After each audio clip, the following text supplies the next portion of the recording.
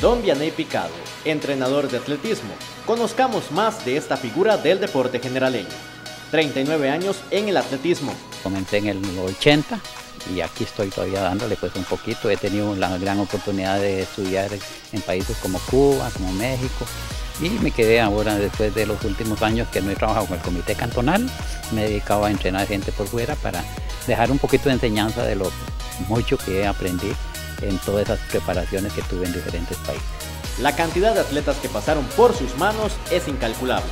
Mira, si le dijera cuántos, no, es innumerable, pero desde que empecé he tenido buenos atletas, muchos atletas y, muchas medallas para el cantón que se trajeron para Juegos Nacionales. Ha sido pero en cuanto a cantidad, no podría darle un, número exacto, porque he tenido grupos hasta de 40, de 50 muchachos que llevé a Juegos Nacionales y fue parte de, lo que eh, no he tenido la curiosidad de tener una estadística prácticamente de decirle cuántas personas, pero de ahí hoy los que me conocen inclusive saben eh, la cantidad de personas que han pasado.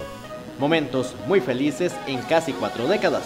Para mí en este momento podría decir. Con la experiencia, con los años, con la gente que trato, eh, me siento muy tranquilo. Voy, voy a cumplir ahora en abril, cumplo 73 años y todavía me siento que puedo dar un poquito más. Pero también momentos tristes. En los Juegos de Santa Cruz, que topamos con, con muchos problemillas y de todo, pero parte de ahí no ha sido todo el resto, pura a grandes figuras las vio crecer. De un Giovanni Ureña que fue un calderón que han sido y que son buenos atletas, eh, podemos contar ahora con el caso de Abraham, con Ramón. En este momento ya estamos integrando a Juan Luis. Esperamos ver eh, dentro de muy pronto un fruto bastante bueno y es parte de... Y si hablamos con mujeres, estuvo una Katia Elizondo que empezábamos en los 83, 84, que fue representante ganadora de Juegos Nacionales, muchas medallas en 400 y 800 metros.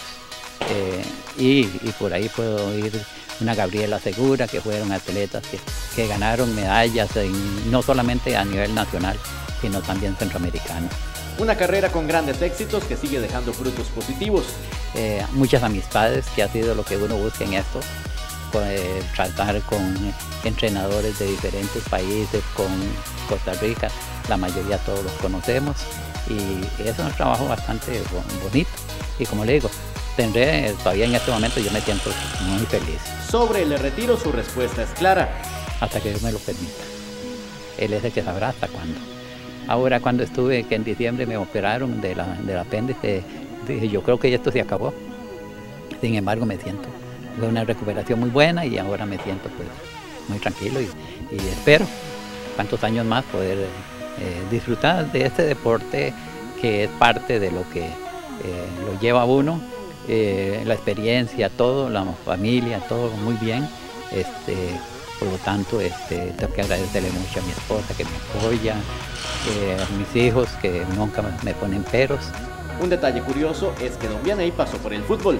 Fue un estuve un poquito. Primero empecé en el fútbol. Luego estuve en los másteres, inclusive corrí un centroamericano en Panamá. Me gustaban las velocidades, eran más en velocidad que de fondo. Sin embargo, este, me he inclinado, o sea, el aprendizaje ha sido llevar en eso. He tenido la oportunidad de estudiar con alemanes, con eh, japoneses y de todo. Este, y entonces de todos he cogido un poquitico. El problema, ahora comentaba con, compañeros que les decía que, que, aquí en Costa Rica no podremos nosotros tener campeones mundiales porque lo primero que no tenemos es una organización que nos ayude, donde debemos tener un médico, un psicólogo, un nutricionista, un masajista, un quiropráctico, y todo eso nos hace falta para decir nosotros vamos a ser campeones. Ese es Don Vianey Picado.